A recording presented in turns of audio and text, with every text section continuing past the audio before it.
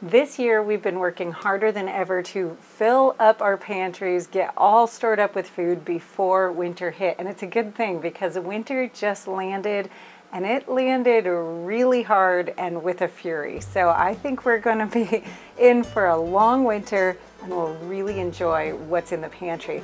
I wanted to take you guys along on the tour and show you what's in the pantry, the freezers, and maybe even some other spaces.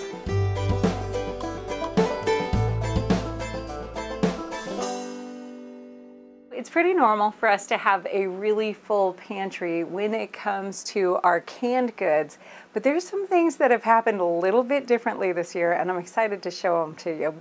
I want you to keep in mind that in this house, we're usually feeding about 13 to 15 people every single meal. So we have a lot of food stored. You may not need this much storage. This will get us through the winter very nicely with a little bit of extra but this isn't a prepper pantry. This isn't stocking up for the end of the world. This is what we actually need to get through the year. So let's take a look at what we've got. This has just a lot of our canned goods. And at this point of the year, we're actually still butchering. And so we don't have a lot of meat products on the shelf yet. That's coming in the next few weeks. But what we do have is a lot of fruit and a lot of vegetables. Something we're really excited about this year is the amount of freeze drying we've done because we love getting to use the freeze dried food. It actually tastes really fresh when you rehydrate it. So let's look at some of the things. We have a whole lot of freeze dried tomatoes over here. I love freeze dried tomatoes because I can just run them through the dicer, stick them onto the freeze dried trays, push a few buttons, and in about 24 to 36 hours, I have something that I can store. I just vacuum seal them right into the mason jars. With just a touch, it will completely crumble. I can turn this into a tomato paste. I can turn it into a sauce. I can turn it into just diced tomatoes, just all depending on how much water I put into it and how much I powder it before I do it. So I really like this because it becomes incredibly versatile and the um, flavor is amazing. Let's see, we've done freeze-dried corn. That rehydrates really well. We have cases of freeze-dried green beans. These are green and purple beans. And again, you have to figure out how to rehydrate them right. These take a little bit longer than some of the other things. Some things you just kind of put them, add some water and they rehydrate instantly. These take a couple of hours to rehydrate at room temperature, but they turn out great when you do. So we really like them. We're doing a lot of cooked pumpkin this year. Even though we could just be pureeing it and sticking it into the freezer, one, the freezers are all pretty full, but two, we found that when we do this, we can powder it, and when we rehydrate it, it makes the silkiest, smoothest pumpkin puree for a pumpkin pie or custard or whatever we want to use it for. So we really like this. This is something we grab for all the time. This is a bell pepper and onion mixture. Just uh, run through the dicer and then laid out on the sheets and, you know, done completely raw. And this is great. You can just throw this into anything you're making and it almost instantly rehydrates. We've got quite a bit of fruit down there. And this is another thing that I'm really liking. This is new for us this year. This is the first year we have grown mushrooms. And so here we were able to grow a lot of wine cap mushrooms this year. I mean a lot. I mean probably several bushels of them. And so we just chopped them up and freeze dried them and they turn out great. They rehydrate perfectly. They also turn into a perfect powder. So if you want to make an almost instant uh, cream of mushroom soup, it's really easy to do with this. Okay, what else do we have over here? We have some of our hard ciders that Josh and I like to make. Obviously at the moment, I'm not drinking a lot of them, but this is a pear cider. This is an apple cider that has a lot of crab apple in it, so it's got a real nice tangy flavor.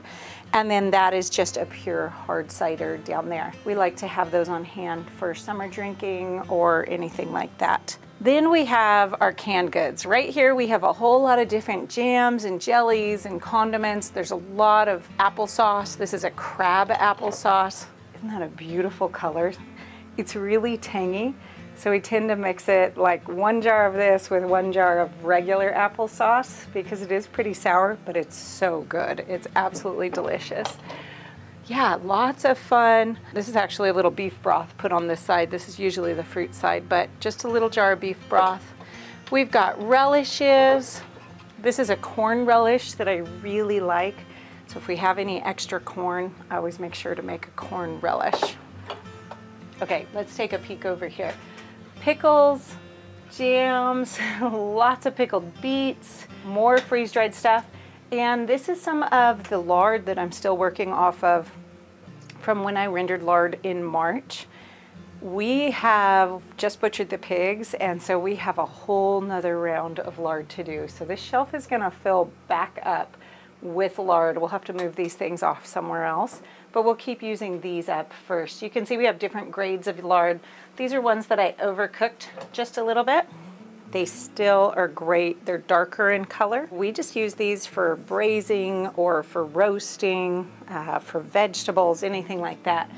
This lard over here is actually mostly used for things like baked goods or for pastries. So it's nice and white and the flavor is amazing.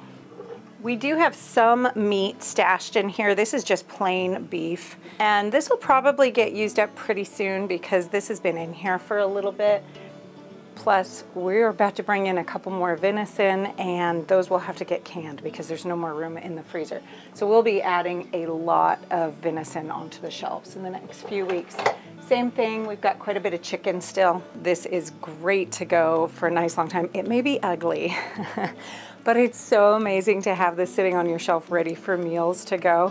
It is delicious, really amazing to have. I really like it. This year we had a bumper crop of plums and so we have a ton of plum jelly. Just absolutely boxes and boxes of it and that's really nice. This is what we tend to use as our go-to and we'll use this for peanut butter and jelly sandwiches or when we're doing any sort of baked good that requires a jelly glaze or anything like that. So we really like this stuff. Now, in case you were thinking that we make absolutely everything that we eat here, that's just not true. There's a lot of things that I can't make or maybe we had a bad year on and so I'll buy them in in bulk and make sure we have them on hand. That goes for things like olives. Can you tell we really like our olives? We love getting really good olives. Usually I bulk up on things. Here's canned olives. We can absolutely not grow these in Idaho. We usually do bulk orders from Azure Standard and get in a lot of really good produce in canned form through Azure Standard. This year's fruit, because we had such a late spring, did not produce very well and most of it you know, went into the freeze dryer or into jams and jellies. So we went ahead and stocked up on some good organic pear halves and even some peaches just so we can have some nice options for breakfast. I always like to keep on a few random things like coconut cream or coconut milk. I love these things. I grew up with these and I haven't been able to replicate them really well yet, so I still buy some of these here and there. I like to keep a little bit of canned tuna, and a little bit of canned salmon on hand, maybe some clams and a few things like that. Extra salsas, a little bit of anchovies for the pregnant woman, because just because. There's also more freeze-dried onions. We still have some coming in. We had a great onion year, so we have a lot of onions and we were able to put a lot of them up and a lot of apple cider. So that's what's mostly in the downstairs pantry. Let's go take a look at the bulk bins.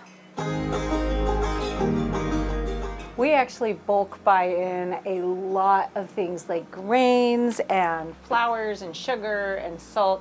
So we have quite a few barrels sprinkled around the place where we can find to fit them and a lot of five gallon buckets. This year I went ahead and just purchased bulk pasta and it's been amazing. I really like it. So we've been able to get all different types from penne, macaroni to spaghetti, even a little bit of orzo, and just brought those in so that we have them on hand ready to go.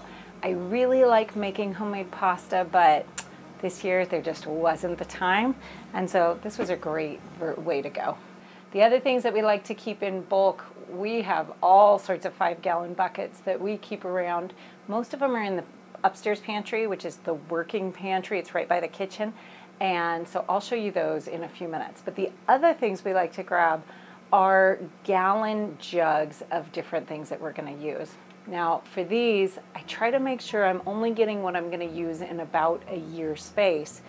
But we get honey. We're not making our own honey yet. Hopefully that'll come the next few years. Molasses, coconut oil, peanut butter, vinegars, things like that. And we like to bring those in in gallon jugs. I tend to do a big stock up every fall to make sure that I have it all on hand so that when the winter storms hit, I don't really have to worry about going anywhere if I don't want to.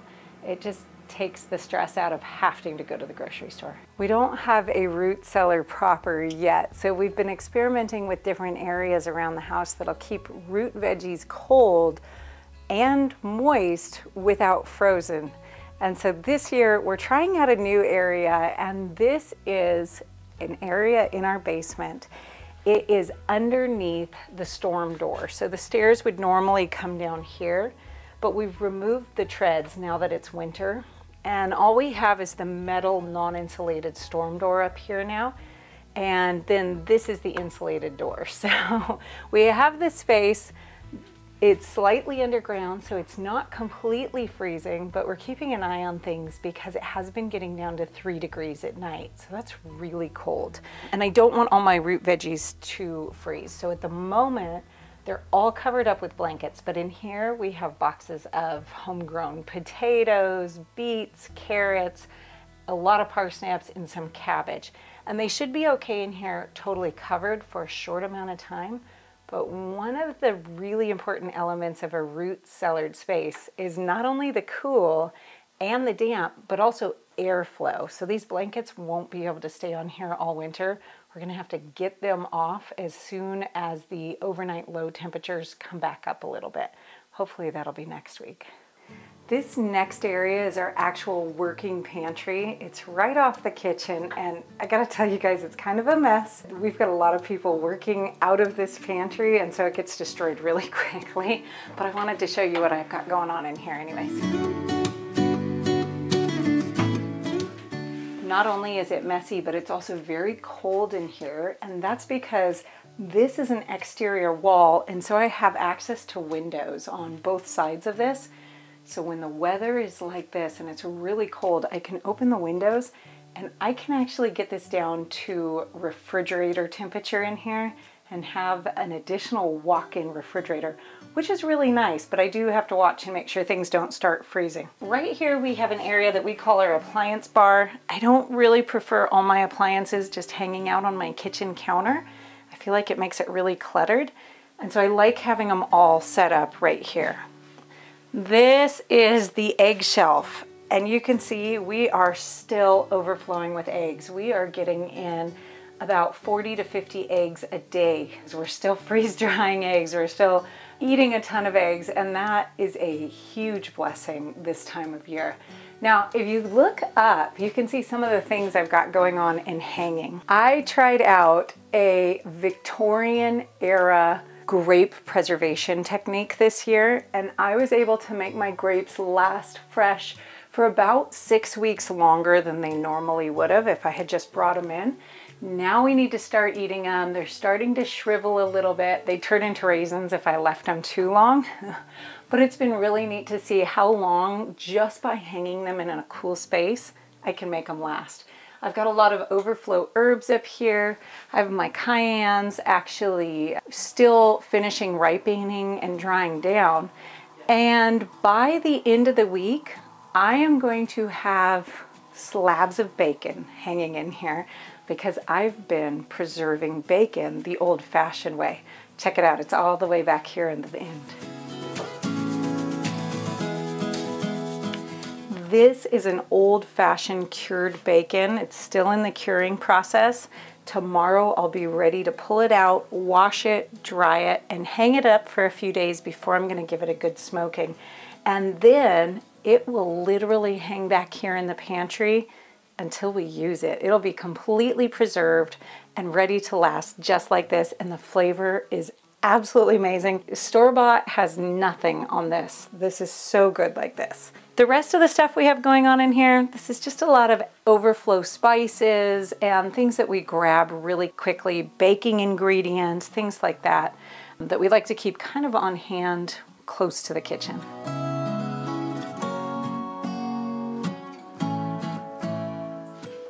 Here we are out in the garage and this is where we keep a bunch of our freezers. Now, we have to have a lot of meat, about a ton of meat for our family to eat for the whole year. And since we grow it ourselves, we need to be able to do it all at once and store it for the year until we use it up.